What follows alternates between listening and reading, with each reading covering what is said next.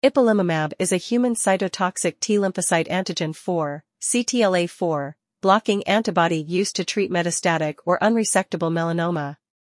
In this video, let's find found. What is ipilimumab? What class of drug is ipilimumab? What is ipilimumab used to treat? Who cannot use ipilimumab? What are the side effects of taking ipilimumab? How does ipilimumab make you feel? How to use ipilimumab? What is ipilimumab? What class of drug is ipilimumab?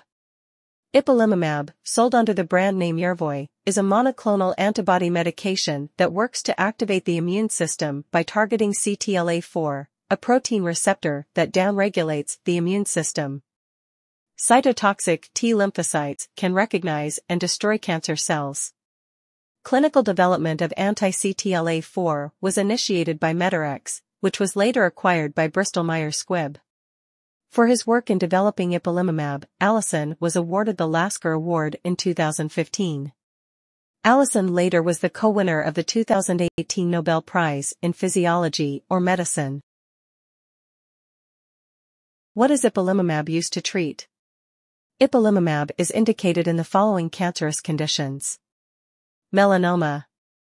Renal cell carcinoma, RCC colorectal cancer, hepatocellular carcinoma, non-small cell lung cancer, NSCLC, malignant pleural mesothelioma, esophageal cancer.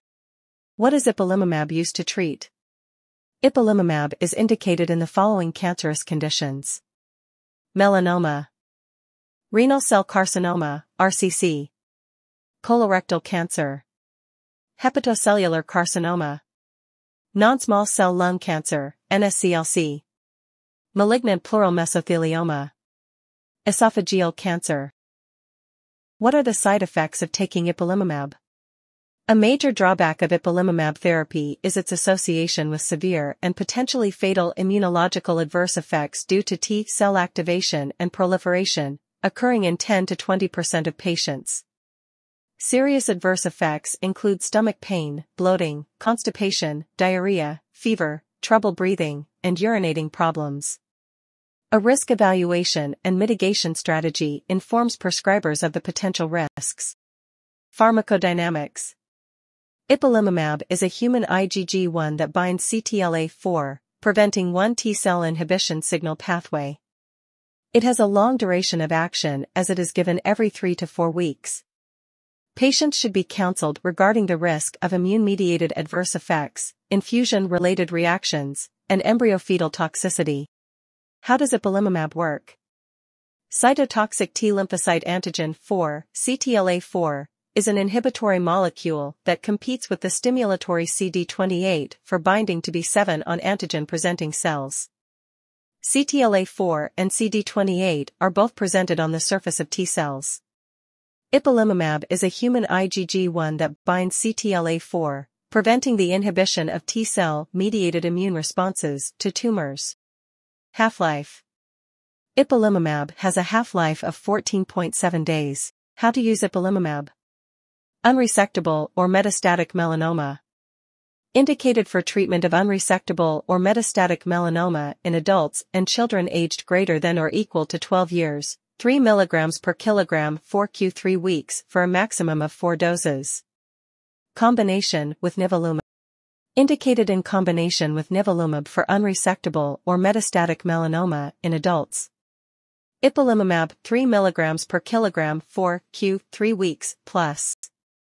Nivolumab 1 mg per kilogram 4 on the same day for maximum of 4 doses or until unacceptable toxicity whichever occurs earlier. After completing four doses of combination therapy, administer nivolumab 240 mg 4q2 weeks or 480 mg 4q4 weeks as a single agent until disease progression or unacceptable toxicity.